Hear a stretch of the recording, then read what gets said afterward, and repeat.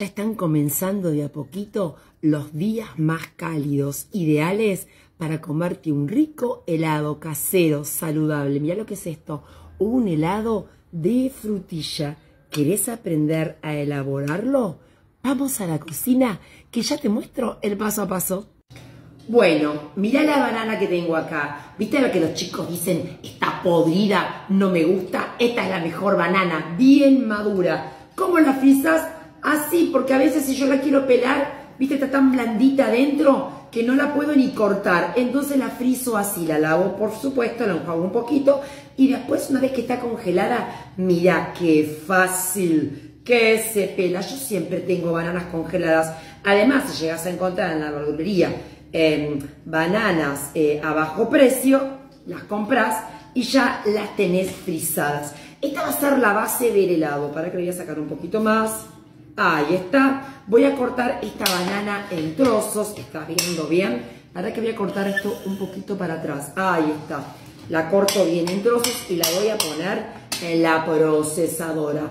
Esta banana va a ser lo que le va a dar cremosidad a mi helado. Acá la estoy poniendo. ¿Qué tengo? Frutillas. Época de frutillas ahora. Están ya más bajas de precio. Así que compren y frisen. Yo las tengo acá frisadas, entonces las voy a poner. Voy a intentar, las saqué recién, cortarlas por el medio. Ah, se cortan espectacular. Sí, ahí está. No es necesario que le agregues ni bebida vegetal, ni agua, ni nada por el estilo.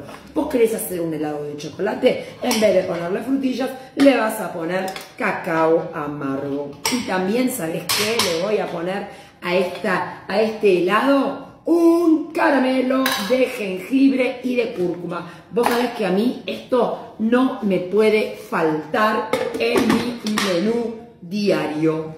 Bueno, ahora a procesar.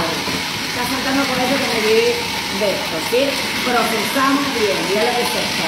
Mira lo que es esto, pueden ser frutos rojos, pueden ser arándanos, la fruta de vos quieras, siempre la base en la banana, porque me va a dar cremosidad, me va a dar untuosidad. Le pones piña, le pones eh, manzana, le pones pera, lo que vos quieras. Mira, mira lo que es esto, el desastre que estoy haciendo acá, pero te lo quiero mostrar porque me pongo ansiosa. Mira lo que es esto, mira la cremosidad. Me gusta dejarle pedacitos de frutillas. Si vos querés que, no tenga pedacitos de frutillas, la, la, procesás un poquito más. Mira, ahí nada, está espectacular. Acá lo tengo. Después lo podés decorar con lo que vos quieras. Pero mira lo que es esto. no hay excusa, ¿eh?